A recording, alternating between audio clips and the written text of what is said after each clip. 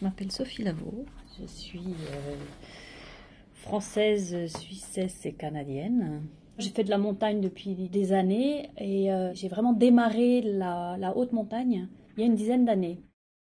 J'ai eu cette opportunité donc en 2012 de rejoindre une expédition suisse et c'était une, double expédition euh, donc Shisha Pangma et Choyu.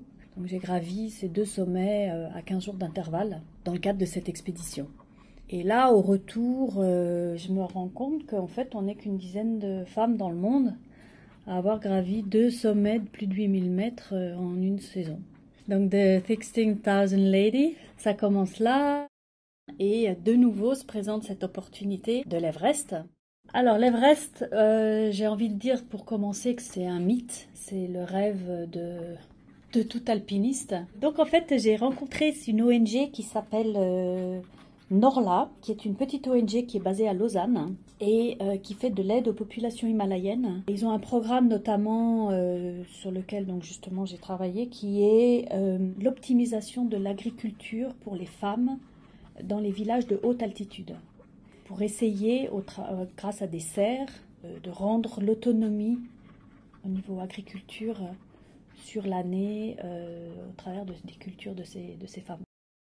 Je me suis dit, j'aimerais trouver une idée pour donner de la visibilité à Norla et euh, faire une levée de fonds euh, pour eux.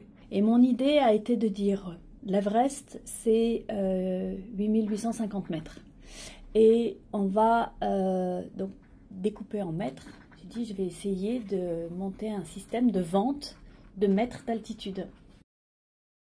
J'ai des, des, gens qui ont cru aussi en ce projet, qui m'ont aidé et autres. Et quand on mobilise vraiment sur quelque chose auquel on croit, eh ben, euh, ça marche.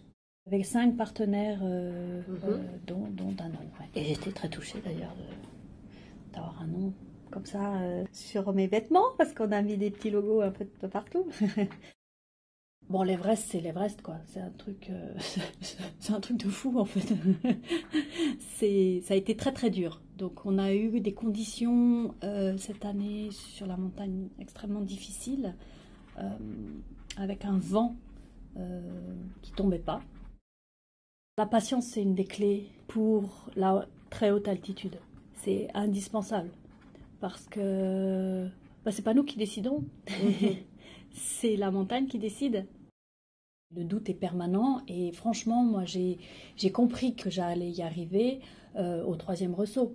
Donc en fait, sur la grande arête, il y a, y, a, y, a, y a, trois ressauts euh, rocheux mm -hmm. euh, à, à, franchir, qui sont les, grandes, les trois grandes étapes. Après, pour atteindre donc la grande arête euh, sommitale, mm -hmm. et où on a une chance extraordinaire, c'est que le vent tombe au moment du lever de soleil. Et du coup, on a eu un sommet euh, absolument euh, génial, quoi, fantastique.